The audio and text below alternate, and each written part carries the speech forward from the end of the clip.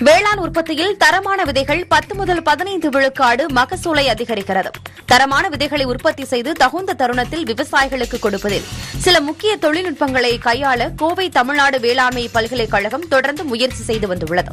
இந்நிலையில் தமிழ்நாடு வேளாண்மை பல்கலைக்கழகத்தின் கீழ் இயங்கும் நானோ அறிவியல் தொழில்நுட்பத்துறை விஞ்ஞானிகள் மின் நூற்பு நானோ இழைகள் கொண்டு விதை நேர்த்தி செய்யும் ஒரு புதிய வகை தொழில்நுட்பத்தினை கண்டுபிடித்துள்ளனர். இம்முறையில் முளைப்பு திறன் மற்றும் பயிர்களின் வளர்ச்சியை ஊக்குவிக்கும் இடுபொருட்களான வளர்ச்சி ஊக்கிகள் பூஞ்சான கொல்லி பூச்சிக்கொல்லி நன்மை செய்யும் நுண்ணுயிரிகள் போன்றவைகள் நானோ இழையில் செறிவூட்டப்பட்ட விதைகளில் அளிக்கப்படுகின்றது.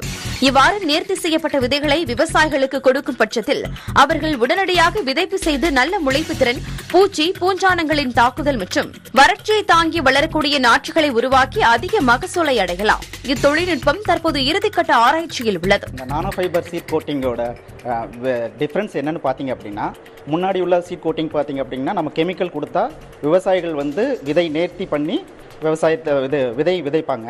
பட் இந்த நானோ ஃபைபர் சீட் கோட்டிங்கில் என்ன அப்படின்னு பார்த்தீங்கன்னா என்னென்ன வந்து இன்புட் அதாவது இடுபொருட்களில் வந்து நம்ம கொடுக்கணுமோ விதைக்கு கொடுக்கணுமோ அதை எல்லா இடுபொருட்களையும் இந்த நானோ ஃபைபரில் கொடுத்துட்டு நம்ம சீட் கோட் பண்ணி அப்புறமா நம்ம கோட்டட் சீடை வந்து விவசாயிகளுக்கு கொடுக்கறதுனால அவங்க விதை நேர்த்தி பண்ண வேண்டியதில்லை.